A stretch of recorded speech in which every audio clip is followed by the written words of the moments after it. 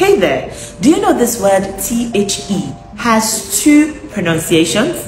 I'm sure you didn't know. Come with me, let me show you the pronunciations and how to use them.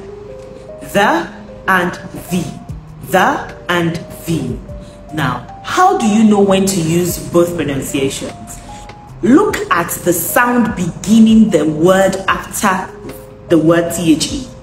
Look at the sound that is beginning that word, the word after THE in the sentence. If it's a vowel sound, then you use the. For example, the apples are in my bag. Ah is a vowel sound. The apples are in my bag. Ah is a vowel sound.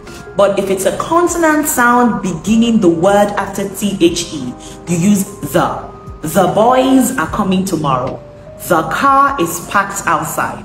The kettle is on the stove. Once again, if it's a vowel sound that begins the word after THE, it is the, but if it's a consonant sound that begins the word after THE, it is the. Give me more examples in the comment section. I'll see you in my next video.